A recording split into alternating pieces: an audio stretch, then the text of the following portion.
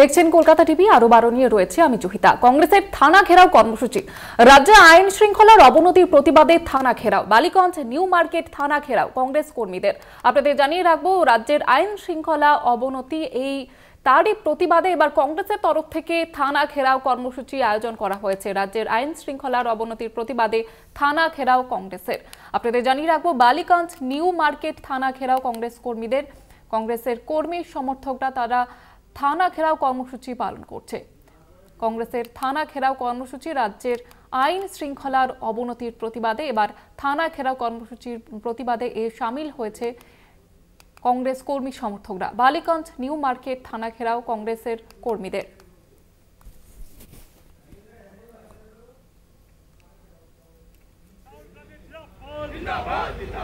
আজকে দলের দলের চলছে। আমাদের সঙ্গে রয়েছে প্রতিনিধি সত্য সুন্দর ভট্টাচার্য। সত্য সুন্দর কি কি দাবি তুলে কি কি অভিযোগ তুলে এই কর্মসূচি পালন করা হচ্ছে?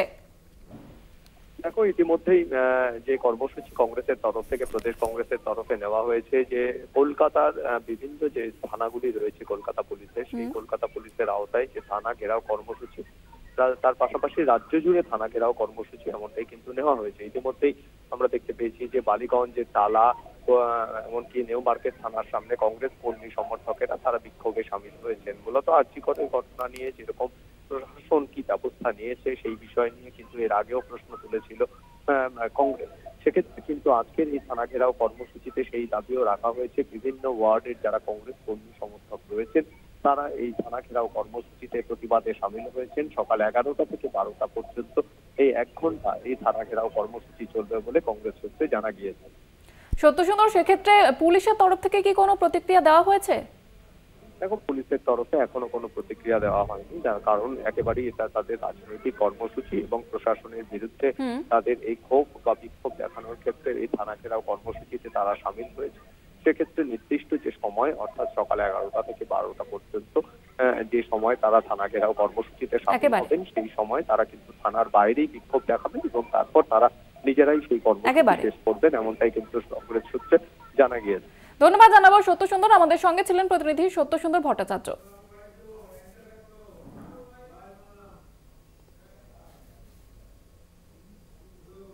সোমবার পর্যন্ত রাজ্য সরকারকে ডেডলাইন জুনিয়র ডাক্তারদের। যেমনটা জানা যাচ্ছে, দশ দফা দাবি না মানা হলে মঙ্গলবার ফের কর্মবিরতির হুঁশিয়ারি জুনিয়র ডাক্তারদের। সর্বভারতীয় স্তরেও কর্মবিরতির ভাবনা জুনিয়র ডাক্তারদের। তারা যে দাবি দেওয়া তুলে ধরেছিলেন, দশ দফা দাবি দেওয়া, সেই দাবি দেওয়া পূরণ না হওয়া পর্যন্ত একদিকে অনশন চলছে তাদের। অন্যদিকে তারা কর্মবিরতির হুঁশিয়ারি দিয়েছেন, আবার জুনিয়র ডাক্তারদের তরফ থেকে দেওয়া হয়েছে এবং সোমবার পর্যন্ত ডেডলাইন বেঁধে দেওয়া হচ্ছে রাজ্য সরকারকে। সোমবার পর্যন্ত রাজ্য সরকারকে ডেডলাইন জুনিয়র ডাক্তারদের দশ দফা দাবি না মানা হলে মঙ্গলবার ফের কর্মবিরতির হুঁশিয়ারি জুনিয়র ডাক্তারদের এবং এমনটাও জানানো হয়েছে সর্বভারতীয় স্তরেও সেই কর্মবিরতির ভাবনা জুনিয়র ডাক্তারদের। দশ দফা দাবি না মানা হলে মঙ্গলবার ফের কর্মবিরতির হুঁশিয়ারি জুনিয়র ডাক্তারদের।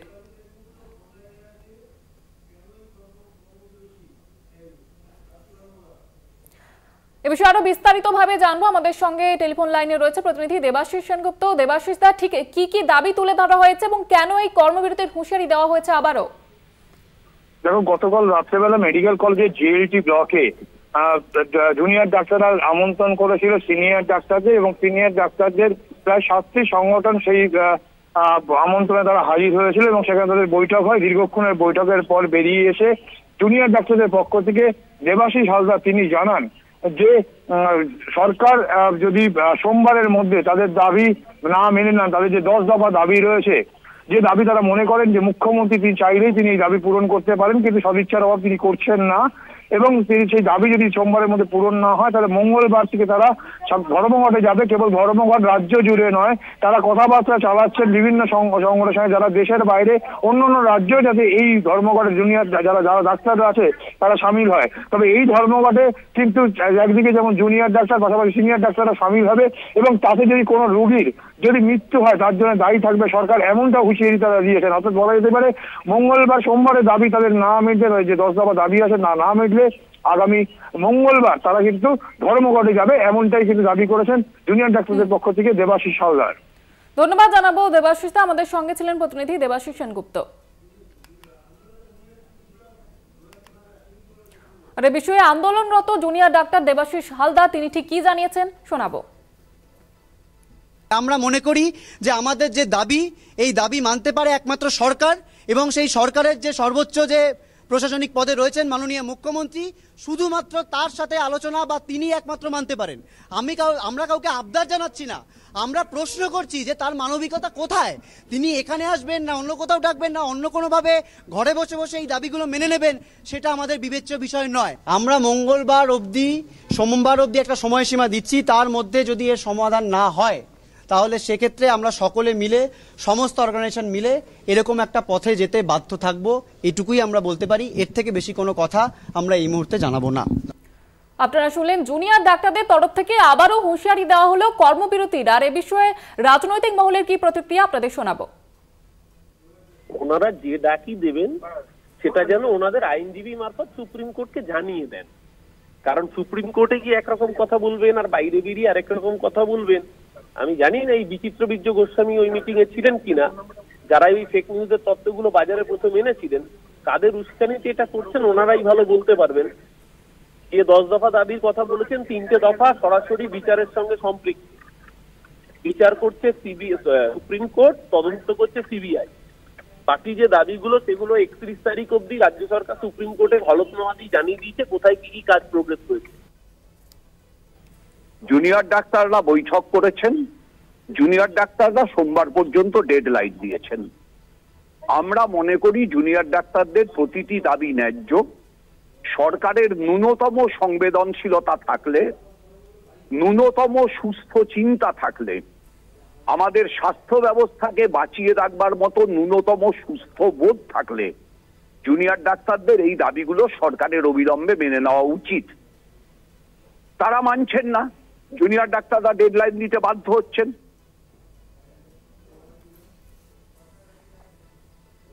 আরজিকর কাণ্ডের প্রতিবাদে মিছিল জুনিয়র ডাক্তারদের, সোদপুর থেকে মিছিল ধর্মতলা পর্যন্ত। মিছিলের সাধারণ মানুষকে যোগ দেওয়ার আহ্বান দেওয়া হয়েছে। দশ দফার দাবি পূরণে বৃহত্তর আন্দোলনের হুঁশিয়ারি এবং এবার নির্যাতিতার বাড়ি থেকে ধর্মতলা পর্যন্ত এই মিছিলের আয়োজন করা হয়েছে জুনিয়র চিকিৎসকদের তরফ থেকে। এবং সেখানে সাধারণ মানুষকেও যোগ দেওয়ার আহ্বান জানানো হয়েছে। জুনিয়র ডাক্তারদের যে দশ দফা দাবি রয়েছে, সেই দশ দফা দাবি পূরণে এই মিছিলের আয়োজন করা হয়েছে এবং আজকে ওই নির্যাতিতার বাড়ি সোদপুর থেকে এই মিছিল ধর্মতলা পর্যন্ত। আরজিকর কাণ্ডের প্রতিবাদে মিছিল জুনিয়র ডাক্তারদের। সোদপুর থেকে মিছিল ধর্মতলা পর্যন্ত। মিছিলের সাধারণ মানুষকেও যোগ দেওয়ার আহ্বান জানানো হয়েছে। দশ দফা দাবি পূরণে বৃহত্তর আন্দোলনের হুঁশিয়ারি জুনিয়র চিকিৎসকদের। একদিকে আপনারা জানেন যে তাদের দশ দফা দাবি পূরণে অনশন চলছে, আন্দোলন চলছে লাগাতার। এবার নির্যাতিতার বাড়ি সোদপুর থেকে এই মিছিলের আয়োজন করা হয়েছে ধর্মতলা পর্যন্ত। বৃহত্তর আন্দোলনের হুঁশিয়ারি দেওয়া হয়েছে জুনিয়র চিকিৎসকদের তরফ থেকে এবং সেই আন্দোলনে সাধারণ মানুষকে যোগ দেওয়ার আহ্বান জানানো হয়েছে জুনিয়র চিকিৎসকদের তরফ থেকে।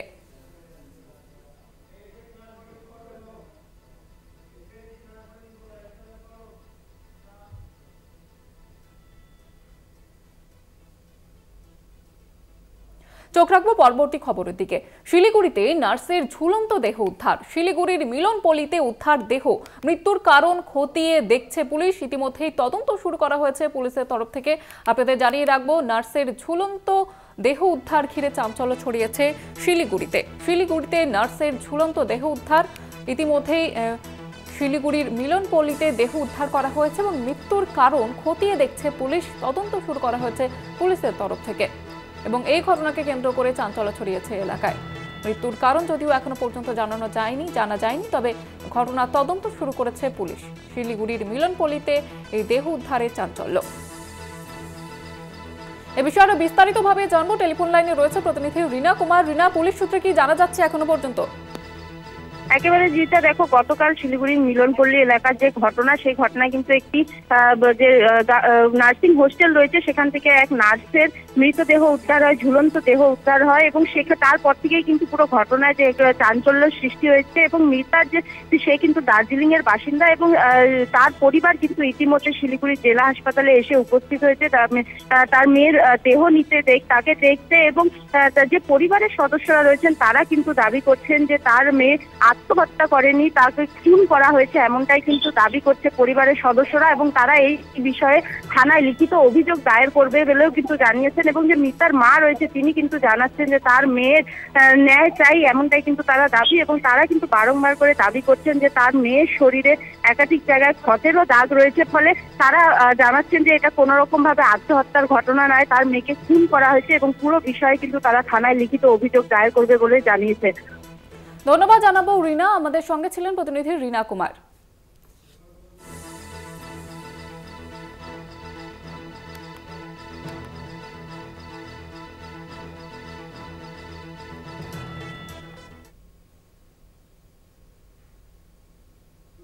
নবম শ্রেণির দুই নাবালিকা ছাত্রীকে অপহরণের চেষ্টা দুই যুবকের টানাটানি করার সময় চিৎকার চেঁচামেচি এবং স্থানীয়দের তৎপরতায় পৌঁছয় আরামবাগ থানার মহিলা উইনার্স টিম এবং উদ্ধার করা হয় ওই নাবালিকাদের। চিৎকারের মধ্যেই অভিযুক্ত অপরিচিত দুই যুবক পলাতক হয় এবং সিসিটিভি চেক করে তদন্ত শুরু করেছে পুলিশ। নবম শ্রেণি দুই নাবালিকা ছাত্রীকে অপহরণের চেষ্টার অভিযোগ করছে দুই যুবকের বিরুদ্ধে অপহরণের চেষ্টা এবং স্থানীয়দের তৎপরতায় সেখানে পৌঁছে যায় মহিলা উইনার্স টিম। এবং ঘটনার তদন্ত শুরু করেছে পুলিশ। উদ্ধার নাবালিকারা এবং পলাতক অভিযুক্ত দুই যুবক। এ বিষয়ে আরও বিস্তারিতভাবে জানব। টেলিফোন লাইনে রয়েছে প্রতিনিধি দীপাঞ্জন রায়। দীপাঞ্জন, কি জানা যাচ্ছে? কেন অপহরণের চেষ্টা এবং কি অভিযোগ উঠছে? দেখো, যদিও এই মুহূর্তে অপহরণের কেন চেষ্টা করা হয়েছিল সেটা তদন্ত করে দেখছে আরামবাগ থানার পুলিশ। আর যেটা জানা গেছে, শুক্রবার বিকালে ওই দুই ছাত্রী পড়তে বেরিয়েছিল আরামবাগ শহরের উদ্দেশ্যে। তখন তারা যখন টোটোতে চাপে, তারা তাদেরকে নিয়ে যখন টোটো রওনা দিয়েছে, তখন পরের যে জায়গা থেকে ওই দুই যুবক টোটোতে চাপে এবং তাদেরকে ভয় দেখানো হয় এবং বলা হয় যে টোটো থেকে তারা যেন চিৎকার না করে এবং নামার চেষ্টা যেন না করা হয়, তাহলে তাদেরকে প্রাণে মেরে ফেলা হবে। তারপরে কিছু দূর যাওয়ার পরে ওই দুই যুবক টোটো থেকে নেমে যায়, তারপর ওই কিছু না বলে আরামবাগ বাস স্ট্যান্ড সংলগ্ন এলাকায় নামে। তার কিছুক্ষণ পর মুহূর্তে আবার ওই দুই যুবক ওই স্ট্যান্ড সংলগ্ন এলাকায় যায় এবং তাদেরকে অন্য টোটোতে চাপতে বাধ্য করে এবং তাদেরকে আরামবাগ শহরের বাইরে নিয়ে যাওয়ার চেষ্টা করে। তার সেই মুহূর্তেই কিছু দূর যাওয়ার পরে ওই দুই ছাত্রী চিৎকার করতে থাকে ওই সঙ্গে ছিল ওই দুই যুবক। তৎক্ষণাৎ ওই ছাত্র, ওই ছাত্রীদের সঙ্গে ধস্তাধস্তি শুরু হয়। তারপরে এক ছাত্রীকে টোটো থেকে ফেলে দেওয়া হয়। যখন স্থানীয় মানুষজন এসে তাদের কাছে পৌঁছয়, তখন ওই দুই যুবক সম্পদ দেয়। সেই মুহূর্তেই ওই এলাকায় টহলদারিতে থাকা আরামবাগ পুলিশের মহিলা উইনার্স টিম সেই জায়গায় পৌঁছয় এবং ওই দুই ছাত্রীকে উদ্ধার করে। এটা আমরা পুলিশ মারফত জানতে পেরেছি। এলাকার সিসিটিভি ফুটেজ খতিয়ে রাখা হচ্ছে। ওই দুই যুবক কোথা থেকে এসেছিল, কীভাবে কোন দিকে গেল, পুরোটাই তদন্ত চলছে এবং আরামবাগ শহরে একটা চাঞ্চল্য ছড়িয়েছে এই বিষয়কে কেন্দ্র করে। ধন্যবাদ জানাব দীপাঞ্জন। আমাদের সঙ্গে ছিলেন প্রতিনিধি দীপাঞ্জন রায়।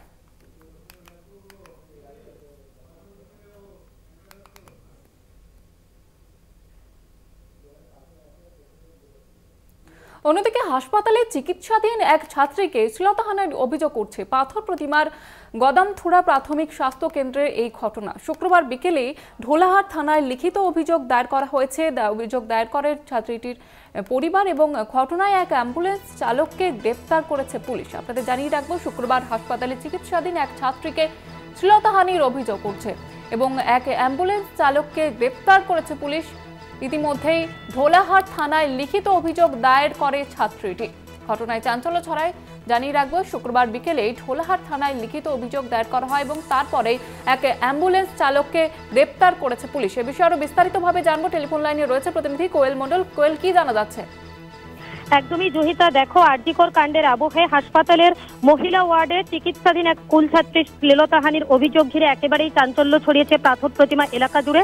যেমনটা খবর যে এই নাবালিকা স্কুল ছাত্রী বা সাপের কামড়ে, বা ওই হাসপাতালে পাথর প্রতিমার যে গদামথুরা প্রাথমিক স্বাস্থ্য কেন্দ্র সেখানে ভর্তি হয় এবং তারপরেই তাকে অ্যান্টিভেনাম দেওয়া হয় এবং তার অবস্থার অবনতি হলে গদামথুরা স্বাস্থ্য কেন্দ্র থেকে তাকে অন্যত্র স্থানান্তরিত করা হয়। সেই সময় ওই নাবালিকা ছাত্রীর পরিবারের লোকজন অ্যাম্বুলেন্স চালকের দ্বারস্থ হয় এবং যেমনটা অভিযোগ যে পরিবারের লোকজন বিশেষ কাজে হসপিটাল থেকে বাইরে যায়, সেই মুহূর্তে এই অ্যাম্বুলেন্স চালক হসপিটালের মহিলা ওয়ার্ডের মধ্যে প্রবেশ করে সেখানে নাবালিকা ছাত্রের শ্লীলতাহানি করে।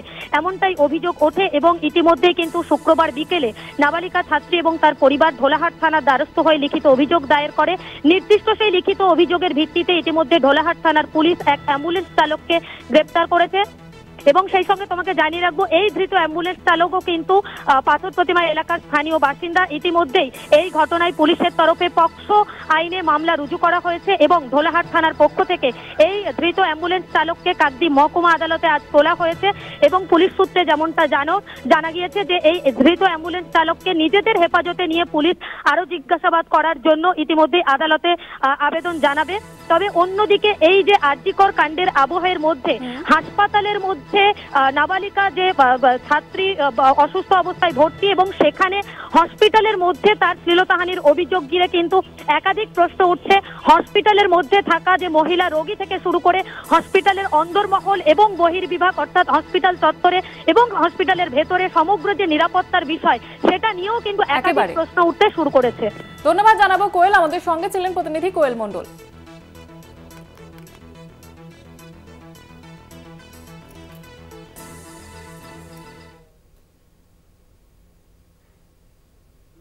মদের ঠেক থেকে স্কুল ছাত্রীকে কটুক্তি, স্কুল পড়ুয়ার টিউশন ফেরত নাবালিকাকে কটুক্তি এবং সিসিটিভি খতিয়ে দেখে দুই যুবককে গ্রেপ্তার করলেও বাঁকুড়া পুলিশ। উত্তেজনা বাঁকুড়ার সদর থানার বিকনা ভাটিগড়া এলাকায়। উত্তেজিত জনতা ভাঙচুর চালা চালা চালায় ওই মদের ভাটিতে অবরুদ্ধ করা হয় বাঁকুড়া রানীগঞ্জ ষাট নম্বর জাতীয় সড়ক। বাঁকুড়া সদর থানায় পুলিশ গিয়ে পরিস্থিতি নিয়ন্ত্রণে আনে এবং পুলিশের আশ্বাসে এই অবরোধ ওঠে। স্কুল, পড়ুয়া, টিউশন ফেরত দুই নাবালিকাকে কটুক্তির অভিযোগ করছে এ বিষয়ে আরও বিস্তারিতভাবে জানব। টেলিফোন লাইনে রয়েছে প্রতিনিধি স্বরূপ গঙ্গোপাধ্যায়। স্বরূপ কি পরিস্থিতি এখন এবং কি অভিযোগ করছে ওই যুবকের বিরুদ্ধে? দেখো, গতকাল সন্ধ্যাবেলায় বাঁকুড়া শহর লাগোয়া বিঘ্নার কাছে একটি মদের ঠেক রয়েছে। এবং সেই মদের আহ, মদের দোকান রয়েছে বৈধ মদের দোকান এবং সেই মদের দোকানের বাইরে মদ্যপ যুবকরা প্রতিনিয়ত রাস্তার ধারে বসে মদ্যপান করেন এবং এই মদ্যপানের জেরে মানুষজনের ওই রাস্তা দিয়ে পেরোনো প্রায় খুব বড় চাপের বিষয় হয়ে পড়ে। কারণ বিভিন্ন সময়ে মদের ঠেক থেকে মদ্যপ যুবকরা মহিলাদের কটূক্তি করে। শুধু তাই নয় রাস্তা দখল করে বসে বসে থাকে রাস্তায় পারাপার মানুষের পক্ষে অসম্ভব হয়ে ওঠে। গতকাল দুই ছাত্রী যখন টিউশন করে ফিরছিল, সেই সময় দুজন মদ্যপ যুবক ওই দুই ছাত্রীকে কটুক্তি করে যখন ওই দুই ছাত্রী এলাকায় গিয়ে পরিবারের লোকজনকে বিষয়টা জানায়। বিষয়টা জানানোর পরে উত্তেজিত জনতা, গ্রামের মানুষজন এসে মদের দোকানের মৃদু ভাঙচুর চলায়, পাশাপাশি রাস্তা অবরোধ করে বিক্ষোভ দেখাতে শুরু করে এবং বারে বারে পুলিশ প্রশাসনকে এ বিষয়ে জানানো হলো। পুলিশ প্রশাসন কোনো পদক্ষেপ নেয়নি। গতকালের ঘটনার পর এলাকার পৌঁছে পুলিশ দোষীদের গ্রেপ্তারের দোষীদের দ্রুত গ্রেপ্তারের আশ্বস্ত করাই অবরোধ তুলে নেয়। পাশাপাশি যে ধরনের বিষয়ে মানুষ সম্মুখীন হচ্ছে, সমস্যা, সেই সমস্যা যাতে আগামী দিনে না হয়, এই বিষয়টাও কিন্তু পুলিশের তরফ থেকে আশ্বাস করা হয়, এলাকার মানুষকে। তারপরে অবরোধ তুলে নেওয়া হয়। কিন্তু গতকালে পুলিশ যে যে দুজন যুবক দুই- ছাত্রীকে কটূক্তি করেছে, সেই ছাত্রীদের সেই সেই ভিডিও ফুটেজ দেখার পর, সিসি ক্যামেরা ফুটেজ দেখার পর দুজন অভিযুক্তকে গ্রেপ্তার করা হয়েছে, তাদেরকে বাঁকুড়া জেলা আদালতে তোলা হচ্ছে। ধন্যবাদ জানাব স্বরূপ, আমাদের সঙ্গে ছিলেন প্রতিনিধি স্বরূপ গঙ্গোপাধ্যায়।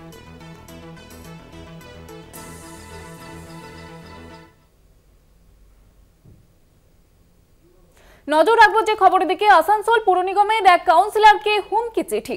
কুলটি থানায় অভিযোগ দায়ের করেন ওই কাউন্সিলর। অজ্ঞাত পরিচয়ের কোনো ব্যক্তি স্পিড পোস্টে ওই চিঠি পাঠায়। ছট পুজোর পর সাবধানে থেকে এমনটা লেখা রয়েছে ওই চিঠিতে। আসানসোলের আসানসোল পৌর নিগমের এক কাউন্সিলরকে এবার হুমকি চিঠি যেমনটা লেখা হয়েছে ওই চিঠিতে, ছট পুজোর পর সাবধানে থেকো লেখা রয়েছে ওই চিঠিতে। অজ্ঞাত পরিচয়ের কোনো ব্যক্তি স্পিড পোস্ট করে ওই চিঠি পাঠায় বলেই জানা যাচ্ছে। পবিত্র বন্দ্যোপাধ্যায় আমাদের সঙ্গে রয়েছে, টেলিফোন লাইনে। পবিত্র, কি অভিযোগ করছে কি লেখা রয়েছে ঠিক চিঠিতে?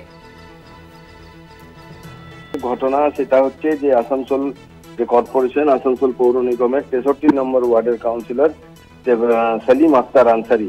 এবং সেলিম আক্তার আনসারির কাছে গতকাল একটি চিঠি এসে পৌঁছায় স্পিড পোস্টের মাধ্যমে এবং সেই চিঠি যখন খোলে সে তখন তার চক্ষু চরক চোখ কপালে ওঠার অবস্থা যে সেই চিঠিতে একটি রক্তের ছাপ হ্যাঁ, চিঠির সাদা কাগজের মধ্যে রক্তের ছাপ এবং তার পাশাপাশি চিঠিতে লেখা যে ছট পুজোর পর খুব সাবধানে থাকবে সেলিম আনসারি।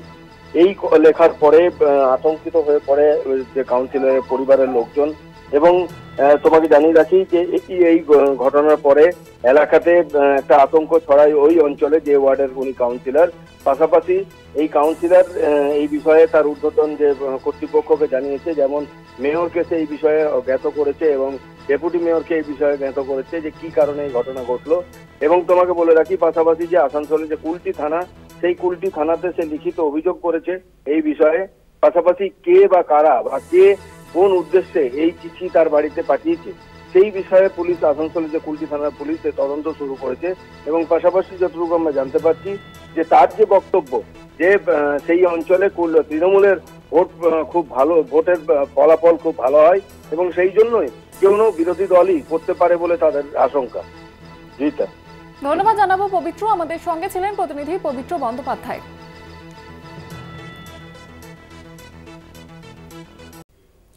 কৃষ্ণনগর কাণ্ডে যুবতীর আরও একটি ফেসবুক পোস্ট ভাইরাল রাহুল বোসের সঙ্গে বিয়ে মৃত যুবতীর। যুবতী রাহুলের কাছ থেকে পঁয়তাল্লিশ হাজার টাকা ধার নেন, এমনটাই বিস্ফোরক অভিযোগ তুলছেন অভিযুক্ত রাহুল বোসের মা।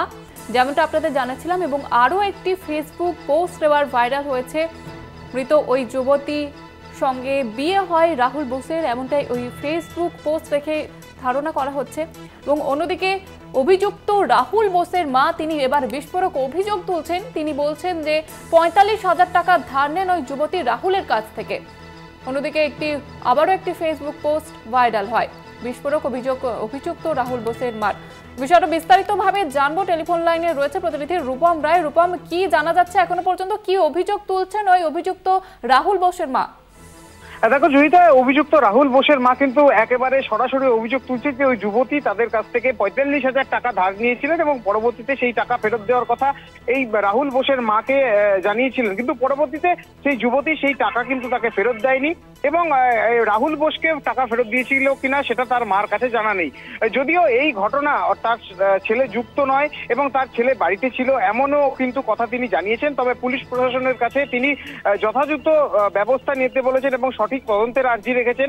এবং তার সাথে সাথে জুহিতা তোমাকে আরেকটা কথা জানিয়ে রাখি যে ফেসবুক পোস্ট আবার ভাইরাল হয়েছে যেখানে লেখা রয়েছে যে এই যুবতী রাহুল বোস নামে ওই যুবককে বিয়ে করেছেন। অর্থাৎ ম্যারেড রাহুল বোস এই ফেসবুক পোস্ট ভাইরাল হওয়ার পর কিন্তু আরও রহস্য দানা বাঁধছে। তাহলে কীভাবে কি তাহলে কি এই যুবতী রাহুল বোসকে বিয়ে করেছিল? নাকি তাদের সঙ্গে অন্য প্রেমের সম্পর্কই ছিল? শুধু কি টাকার জন্যই কি মৃত্যু হলো এই যুবতীর? নাকি সে আত্মহত্যা করল? এরকম হাজারো প্রশ্ন কিন্তু এখন সামনে আসছে। যদিও জয়িতা তোমাকে বলে রাখি এই ঘটনা সামনে আসার পর যেহেতু সিট গঠন করা হয়েছে রাজ্য পুলিশের তরফে সিট কিন্তু তদন্ত করছে এবং এই ঘটনার কে কেন্দ্র করে একাধিক পোস্ট যখন ভাইরাল হচ্ছে তখন কিন্তু সিটও সেই সমস্ত বিষয় খতিয়ে দেখছে। আদৌ এই পোস্টগুলো কেন করা হয়েছিল কে করেছিল জোর করে করেছিল কিনা রাহুল বোস ওই যুবতীকে দিয়ে সমস্ত কিছু কিন্তু এখন তদন্তের মধ্যে রয়েছে। এবং এই ঘটনা যত তাড়াতাড়ি সম্ভব এই যে সত্য উদ্ঘাটন তাতে সেই সত্য উদ্ঘা- উদ্ঘাটন করতে কিন্তু তৎপর রয়েছে সিট জুহিতা ধন্যবাদ জানাব তোমাকে রূপম, আমাদের সঙ্গে ছিলেন প্রতিনিধি রূপম রায়। আপনাদের জানিয়ে রাখব যে আরও একটি ফেসবুক পোস্ট এবার ভাইরাল হয়েছে, যেমনটা জানা যাচ্ছে, ওই নির্যাতিতা, ওই যুবতী সঙ্গে রাহুল বোসের বিয়ে হয় এবং পঁয়তাল্লিশ হাজার টাকা ধার নেন, এমনটাই অভিযোগ উঠছে। অভিযুক্ত রাহুল বোসের মা, তিনি এই অভিযোগ তুলেছেন।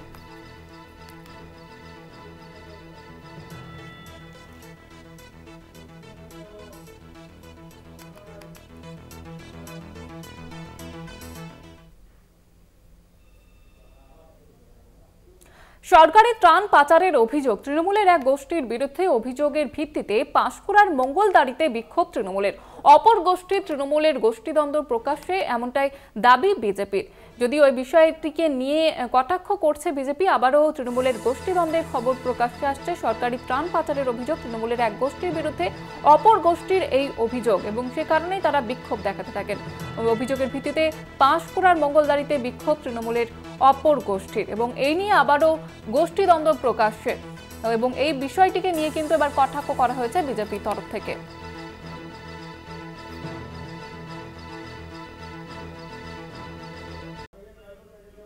শুক্রবারই জারি হয়ে গেল গেজেট বিজ্ঞপ্তি। সারা দেশে অনেকগুলি বিধানসভা কেন্দ্রের সঙ্গে এরাজ্যে ছটি এলাকা উপনির্বাচন রয়েছে। বাংলার ছটি কেন্দ্রের মধ্যেই রয়েছে উত্তরবঙ্গের গুরুত্বপূর্ণ কেন্দ্র মাদারিহাট। আলিপুরদুয়ার লোকসভা কেন্দ্রের অন্তর্গত এই আসনটি আদিবাসীদের জন্য সংরক্ষিত। এখানে গত কয়েকটি ভোটেই স্বচ্ছন্দে জিতেছে বিজেপি। উনিশ সালের লোকসভা ভোটে আলিপুরদুয়ার কেন্দ্রে বিজেপির জন মাল্লা জিতেছিলেন। মাদারিহাট বিধানসভা কেন্দ্রেও বিজেপি এগিয়েছিল ভালোভাবেই। মাদারিহাট বিধানসভা কেন্দ্র দু হাজার লোকসভা ভোট। বিজেপি পেয়েছিল প্রায় উনষাট শতাংশ ভোট। তৃণমূলের থেকে এগিয়েছিল প্রায় চুয়াল্লিশ হাজার ভোটে। সেবার সাংসদ হয়েছিলেন বিজেপির জন বাল্লা দু হাজার উনিশের রাজ্যে সামগ্রিকভাবে বিজেপির ফল খানিকটা ভালো হয়েছিল। কংগ্রেস ও বামেদের মিলিত ভোট ছিল ছয় শতাংশেরও কম। আদিবাসী ও চা বাগান অধ্যুষিত মাদারিহাটে কংগ্রেস ও বামেদের সমর্থন তলানিতে চলে যায় ওই ভোটে। দুহাজার উনিশ সালের লোকসভা ভোটের বছর দুয়ের মধ্যেই এসে গিয়েছিল রাজ্য বিধানসভা ভোট। বিজেপি প্রার্থী তথা ওই এলাকার বিধায়ক মনোজ টিকা এই নির্বাচনে জেতেন। মাদারিহাট বিধানসভা দু হাজার একুশের বিধানসভা ভোট। বিজেপি পেয়েছিল সাড়ে চুয়ান্ন শতাংশ ভোট। সেবার তৃণমূলের তুলনায় বিজেপি এগিয়েছিল প্রায় তিরিশ হাজার ভোটে। বিধায়ক হয়েছিলেন বিজেপির মনোজ টিকা কংগ্রেস সমর্থিত বামফ্রন্টের ভোট ছিল সওয়া চার শতাংশ। মাস কয়েক আগে হওয়া লোকসভা ভোটেও বিজেপি মাদারিহাটে আধিপত্য বজায় রাখে, তবে ব্যবধান কমে যায়। মাদিরিহাট বিধানসভা দু হাজার চব্বিশের লোকসভা ভোট। এবার বিজেপির সমর্থন কমে হয় প্রায় উনপঞ্চাশ শতাংশ। তৃণমূল পায় প্রায় সাড়ে বিয়াল্লিশ শতাংশ ভোট। বিজেপির লিড কমে দাঁড়ায় এগারো হাজার ভোটে। স্পষ্ট দেখা যাচ্ছে, বিজেপি জিতলেও তাদের ব্যবধান ক্রমেই কমছে। মাদারিহাট বিধানসভার বিধায়ক মনোজ টিকাকে বিজেপি দু হাজার লোকসভা ভোটে প্রার্থী করে। আলিপুরদুয়ার থেকে লোকসভা সদস্য হওয়ার পরে চলতি বছরের চৌঠা জুন বিধায়ক পদ থেকে ইস্তফা দেন মনোজ। শূন্য হয় মাদারিহাট বিধানসভা আসন। অবশেষে নির্বাচন ঘোষিত হয়েছে। ভোট হবে তেরোই নভেম্বর, গণনা তেইশে নভেম্বর। এবারে ভোটের ফল কি হবে? সাধারণভাবে বলাই যায় কেন্দ্রটি বিজেপির দিকে ঝুঁকে রয়েছে। তবে সাম্প্রতিক সময়ে বিজেপির আদিবাসী ভোটে ক্ষয়ের লক্ষণ দেখা গিয়েছে। ব্যবধানও প্রতি ভোটেই কমেছে। উপনির্বাচনে তৃণমূল পাঁচ শতাংশ বাড়তি ভোট পেলে জিততে পারে। আবার বিজেপির কিছু সমর্থক এবার বাম কংগ্রেসকে সমর্থন যোগাতেও পারে। সেক্ষেত্রে বিজেপি পড়তে পারে বড় সড় সমস্যায়। ঠিক কোন দিকে এগোচ্ছে আদিবাসী প্রধান মাদারিহাট, উত্তর জানতে অপেক্ষা করতে হবে পাঁচ সপ্তাহ। কলকাতা টিভি।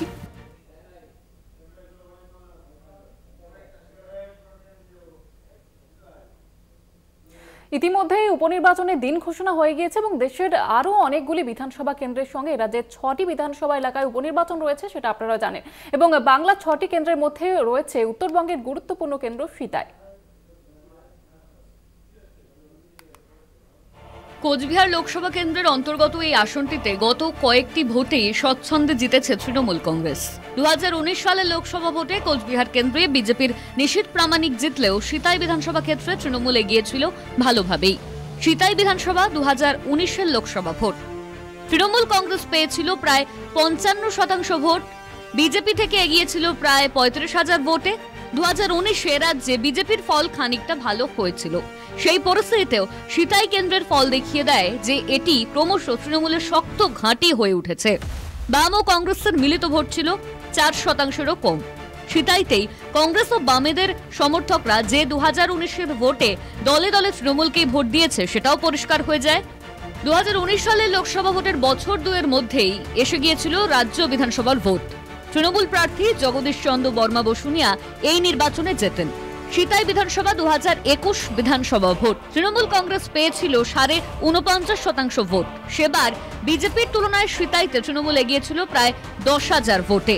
বামফ্রন্টের সমর্থিত কংগ্রেসের ভোট ছিল দু শতাংশেরও কম। মাস কয়েক আগে হওয়া লোকসভা ভোটেও তৃণমূল সিতাই কেন্দ্রে তার আধিপত্য বজায় রাখে। সারা রাজ্যে তৃণমূলের ফল গত লোকসভা নির্বাচনের তুলনায় ভালো হয়। সিতাই বিধানসভা দু হাজার লোকসভা ভোট। এবার তৃণমূল প্রায় চুয়ান্ন শতাংশ ভোট পায়। বিজেপির সমর্থন নামে বিয়াল্লিশ শতাংশে। তৃণমূলের লিড ছিল প্রায় সাড়ে আঠাশ হাজার ভোটের। সিতাই বিধানসভার বিধায়ক জগদীশ চন্দ্র বর্মা বসুনিয়াকে তৃণমূল দু হাজার লোকসভা ভোটে প্রার্থী করে। লোকসভার সদস্য হওয়ার পরে চলতি বছরের ছয়ই জুন বিধায়ক পদ থেকে ইস্তফা দেন জগদীশ। সেই থেকে সিতাই কেন্দ্র উপনির্বাচনের অপেক্ষায়। অবশেষে নির্বাচন ঘোষিত হয়েছে। ভোট হবে তেরোই নভেম্বর, গণনা তেইশে নভেম্বর। এবারের ভোটের ফল কি হবে? সাধারণভাবে বলাই যায়, আরামসে জিতবে তৃণমূল। তবে সাম্প্রতিক কিছু ঘটনা কি তৃণমূলের সমর্থনে আনতে পারে ভাটার টান? উত্তর জানতে অপেক্ষা করতে হবে পাঁচ সপ্তাহ। কলকাতা টিভি।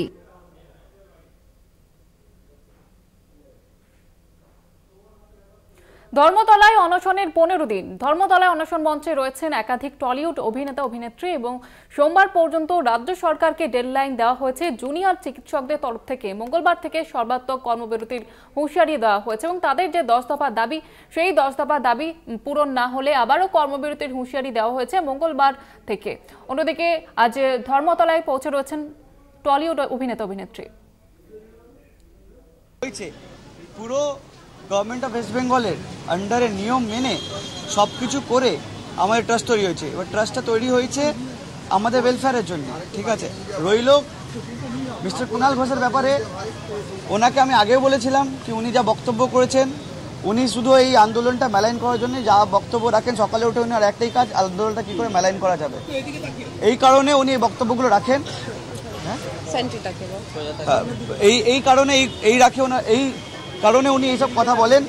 আর আমি এটা বলতে চাই, আমাদের পুরো যেই কাজগুলোই হচ্ছে ট্রাস্টের কাজ, সবই একদম ক্লিয়ার ট্রান্সপারেন্ট এটা নিয়ে আমাদের কোনো দুমত নেই। আমাদের লয়ার আমাদের অ্যাকাউন্টেন্ট সব একসাথেই কাজ করছেন। আমরা সব কিছু ক্লিয়ার রেখেছি। আমরা সব কিছু ক্লিয়ার রাখব। আমরা এরকম কিছুই লোকানোর কিছু নেই। এই ট্রাস্টটা শুধু ওয়েলফেয়ারের জন্য কাজ করছে। এই ট্রাস্টটা আমাদের ডাক্তার সমাজের ওয়েলফেয়ারের জন্য কাজ করছে। প্লাস অনেকগুলো আমাদের কাজ আছে, সেই কাজগুলো ওনারা করবেন। আমাদের তারপরে একদম স্পষ্ট কথা যে আজকে যে কথাটা বললেন, কুণাল ঘোষ কোনো একটা কথা বলেছেন তার প্রতিক্রিয়া।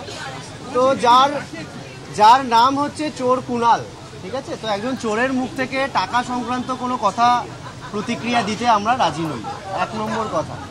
দু নম্বর কথা, এই যে টাকার উৎস কি? কেন টাকা আসছে? আপনারা প্রথম দিন থেকে জানেন আমাদের এই যে আন্দোলন চলছে সেই আন্দোলনে অভয়া ন্যায় বিচারের জন্য আমরা নানা সময় আন্দোলনের নানা ফর্ম থেকেছে। অভয়া ক্লিনিক আমরা করেছি বন্যা দুর্গতদের জায়গায় আমরা গিয়েছি। লিগাল নানা পারপাস থেকেছে অভয়া ন্যায় বিচারের যে লড়াই চলছে সেখানে আমাদের যে সুপ্রিম কোর্টে যে উকিল রয়েছেন তার। তো সেই জায়গায় দাঁড়িয়ে বহু ডাক্তারি অ্যাসোসিয়েশন বলুন ডাক্তারি সংগঠন বলুন ইন্ডিভিজুয়াল ডাক্তার বলুন সাধারণ মানুষ বলুন বহু মানুষ। ইভেন আপনারা প্রত্যেক মিডিয়া এখানে রয়েছেন আপনারা নিজেরা দেখতে পাচ্ছেন রোজ শত শত মানুষ এসে আমাদের যে ভালোবাসা দিচ্ছেন আবেগ দিচ্ছেন তার সাথে দেখুন মানুষ তো আবেগের জায়গা থেকে মানে এক আপনারা দেখেছেন একজন ভ্যান চালক একজন ঢাকি তারা ওই একশো দুশো টাকাও এসে কোনো একটাভাবে আমাদের কাছে ভালোবাসার জায়গা হিসেবে দিয়ে যাচ্ছে। তো এই টাকার উৎস কি? এই প্রশ্নগুলো চোর কুণালের কাছ থেকে যে প্রশ্ন উঠছে তার কোনো উত্তর দেওয়ার জায়গা আমাদের নেই। আমরা প্রথম থেকেই জানি যে এখানে কত টাকা আছে, কি টাকা আছে, এটা যদি ওনার জানার খুব ইচ্ছে হয়, উনি আরটিআই করতে পারেন, উনি উকিলের পথে উনি কোথা থেকে এত কথা জানেন এটাই তো আমরা বুঝতে পারছি না। আমরা গোটাটাই ট্রান্সপারেন্ট এবং এটা যদি বলেন যে এই জায়গাটা যে সরকারি জায়গায় এর ঠিকানা কেন, এই প্রশ্ন যদি আপনারা করতে চান, আমরা বারবার বলতে চাই, আমরা প্রথমে এটা করতে চেয়েছিলাম একটা অ্যাসোসিয়েশন যেটা মোর ডেমোক্রেটিক আপনারা সবাই জানেন। এই যে রেজিস্ট্রেশন অ্যাক্ট অনেক রকমের হয় ট্রাস্ট হয় অ্যাসোসিয়েশন হয়। অ্যাসোসিয়েশন রেজিস্ট্রেশনে আমরা অ্যাপ্লাই করেছিলাম।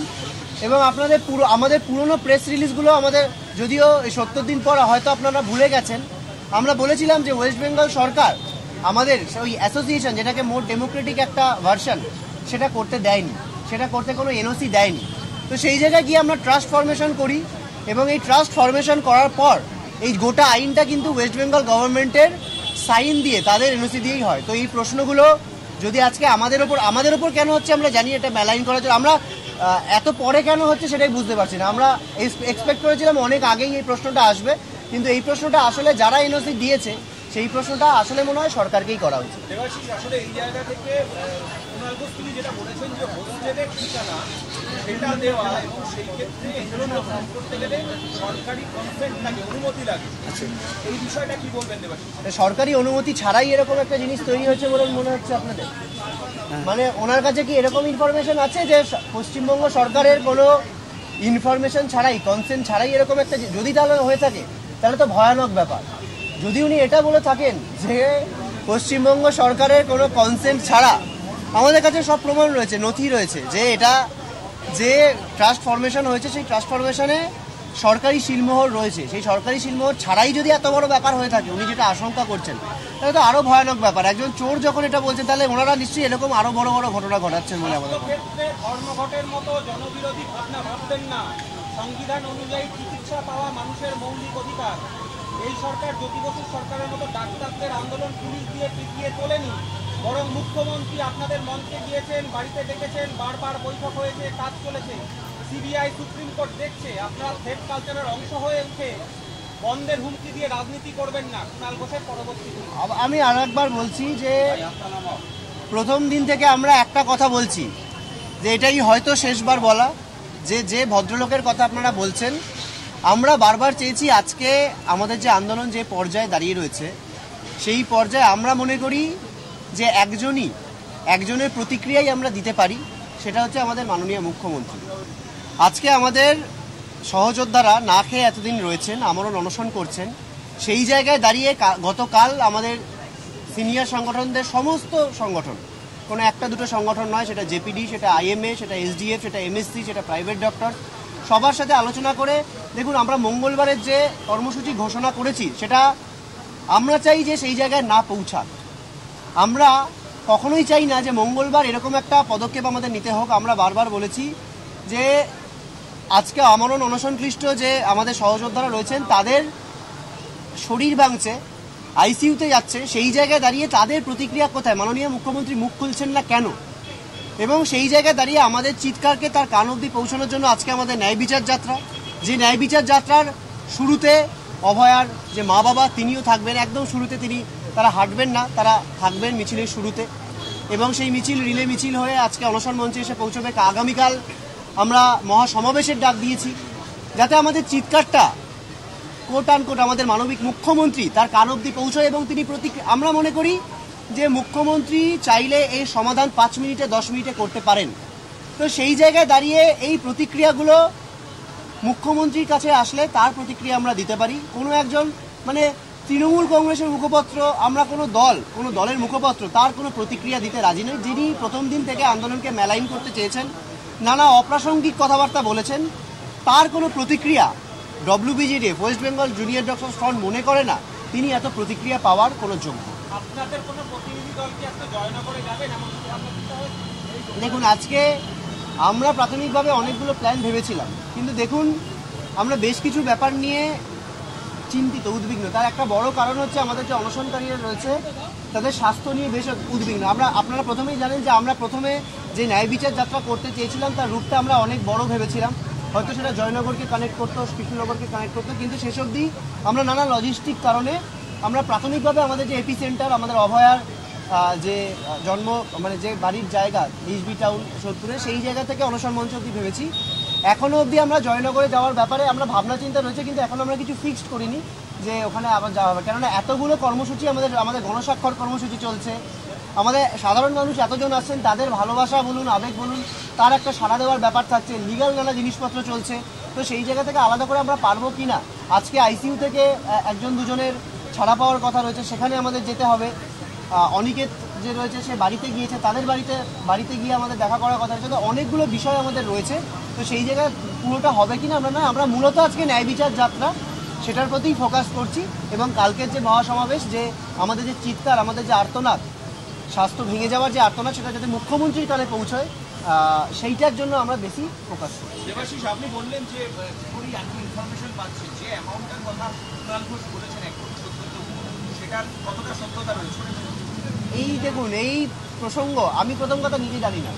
এই গোটাটা হচ্ছে যে আমাদের যে উকিল রয়েছে আমাদের যে সিএ রয়েছে তিনি অডিট নিচ্ছেন এবং তিনি একদম আমাদের কাছে বহু দেখুন আপনারা এখানে বসে রয়েছি বহু মানুষ এসে স্যারেরা এসে চেক দিচ্ছেন সাধারণ মানুষ এসে একদম লিগাল ব্যাটেলের জন্য পাশে দাঁড়াচ্ছেন। আপনাদের সামনে আপনাদের ছবি মানে উৎস কোথায় এইটা জানার প্রশ্নটা আপনারা করছেন। আপনারা হ্যাঁ মানে ছোট বাচ্চারা। মানে উৎস কোথায় এটা আপনারা প্রশ্ন করছেন দেখে আপনারা একটু হতাশ হলাম দুঃখিত হলাম। আপনারা দেখেছেন একদম বাচ্চা বাচ্চা ছেলেরা নিজেদের জমানো টাকা পিগি ব্যাংক করে এসে আমাদের হাতে দিয়ে যাচ্ছে। তো সেই রাখা রয়েছে এগুলো কোনোটা গোপন কিছু নয়। এই যে এরকম জিনিস। স্যারেরা এসে নানা রকম মানে যাদের অ্যাসোসিয়েশন রয়েছে তারা হচ্ছে এরকম চেক দিয়ে যাচ্ছে। তো সেই জায়গায় আমাদের কাছে সব হিসেবেই রয়েছে। তো এই জায়গায় দাঁড়িয়ে এই মুহূর্তে কত টাকা রয়েছে, কি না টাকা রয়েছে, এটা মিডিয়ার কাছে কোনো কৈফিয়ত দেওয়ার জায়গা। কেননা কুণাল ঘোষ বলেছে বলে আমরা মনে করি না। আমরা যথাসময়ে যদি প্রয়োজন হয় আর আরটিআই করতে পারেন। আমাদের উকিল সব হিসেব রাখছেন। আমাদের যে লিগাল টিম রয়েছে তার হিসেব রাখছে। আমাদের যে সিএ রয়েছে গোটাটার অডিট রয়েছে। যদি কোনো এরকম প্রশ্নের জায়গা থাকে লিগাল জায়গা থাকে, কেননা আমি তো জানতে চাইছি না যে চোর কুণালের খাটের তলায় কত টাকার বান্ডিল রয়েছে তার হিসেব চাই। তো সেই জায়গায় দাঁড়িয়ে আমরা মানে তার কথায় কোনো কৈফিয়ত দেবো? এরকম জায়গা আমরা নেই, কিন্তু আমাদের লিগাল টিম এবং সিএ গোটাটারই অডিট করছে এবং ট্রান্সপারেন্টভাবেই করছে।